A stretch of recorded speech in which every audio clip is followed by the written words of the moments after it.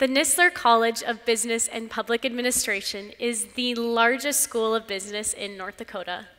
The college has long recognized many of the core values that surface through the UND strategic planning process. Here to discuss a new era for the college is Dean Amy Henley. Amy Henley. Dean Henley, thank you for joining us this morning and welcome. Thank you for having me.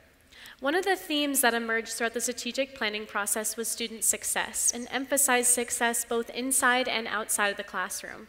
One of the ways that the college does this is through the Middleton Business Competition. Can you tell us a little bit about the program? Absolutely. Thank you, Faith. The Middleton Business Plan Competition is an example of the many experiential learning opportunities that we have in the Nistler College. It's one of the key strategic priorities, as you mentioned earlier, what our values and our initiatives are. We want students to experience interactions before they have out in the real world and they join their careers. So Tom and Connie Middleton were generous enough to provide us a $5 million gift about a year and a half ago, and that has supported many endeavors, but particularly the Middleton Business Plan Competition, where there's a competition across campus, engineering students, aeronautics students, business students, of course, arts and sciences, et cetera, and we compete uh, over a three-day weekend. And the winner actually gets a great deal of prizes in terms of funds and business support, but they also get to ring the closing bell, closing bell at NASDAQ. So that's one we're proud of. Awesome. So I know that this year the college was reaccredited, and this places your college in the top 5% of business schools, not just nationwide, but globally. Can you talk a little bit about what this means for the college and its students?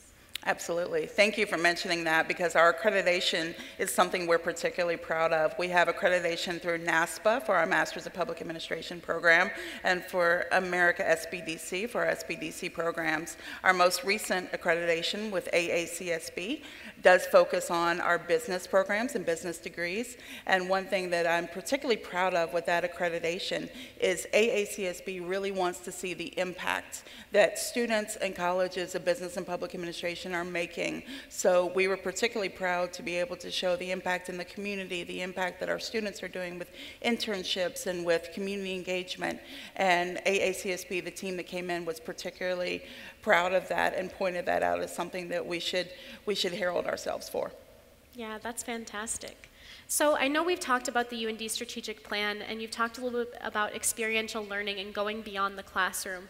Talk a little bit about how the Nistler connects with the community of Grand Forks. Absolutely. It is so special to have such a strong relationship. Uh, Mayor Bochenski is one of our econ grads that we're proud of, but we also have so many partners in in local organizations, also with the chamber, and the most demonstrative example, I think, is where the city invested $1.3 million into our new Nistler Hall. And so we're so proud to have a City of Grand Forks Workforce Development Center in that student-facing area right on the first floor of Nistler Hall, where students all across campus can come by and see what the opportunities are in the City of Grand Forks and with different organizations within the city.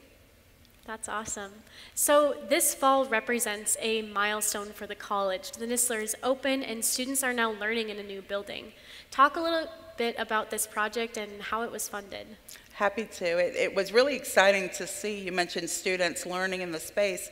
When that AACSB team was here back in April and the building was about 90% done, one thing they mentioned was that this building screams how much you care about your students. As a university, you can tell that this building was built for students. So it was interesting to see the day before classes started, and it was completely empty and then you come in the next morning and every little space where we had different touchdown spaces where they can work with groups or work on their own every seat was filled every conference room was being utilized so that was great to see and it's a reflection of the funding project that we partnered with the city as i mentioned before with the state with our lead donors werner and colleen nistler and over 250 additional donors who made gifts up to $30 million in total to provide the $70 million funding for the project. So I think it's a great example of that public-private partnership. Wow, what a great partnership there. And so, with all the other events we have going on this week, I know on Friday we have a ribbon cutting ceremony for the building. Talk about this event and when it'll take place. Well, everyone is invited, everyone in town, everyone on campus, because we are very proud. This project is over a decade in the making, and we want everyone to turn out for our grand opening. It is Friday morning, as you mentioned, at 11 a.m. in Nistler Hall, and all are welcome. It'll be a great celebration of a very special time. Sounds like a great event. Now we're going to give you a sneak peek of the new building. The final beam was put in place last spring, and since that time, workers have completed the 123,000 square foot building just in time for fall semester.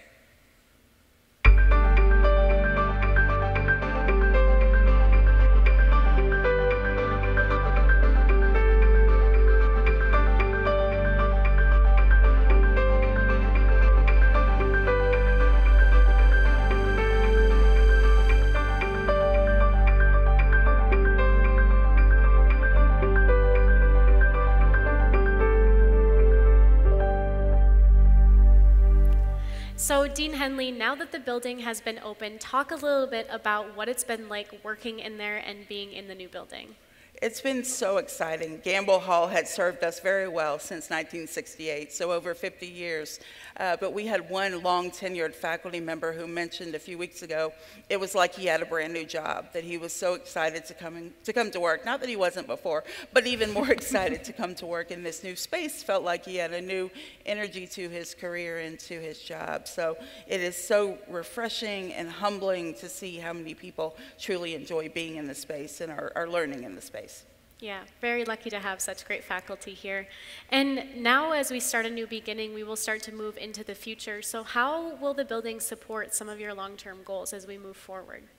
Because Gamble Hall had served us so well for over 50 years, it was critical to us that we construct a building, and JLG Architects, I know who is here, and PCL and community contractors did a great job of suggesting things that would allow the building to be timeless in nature.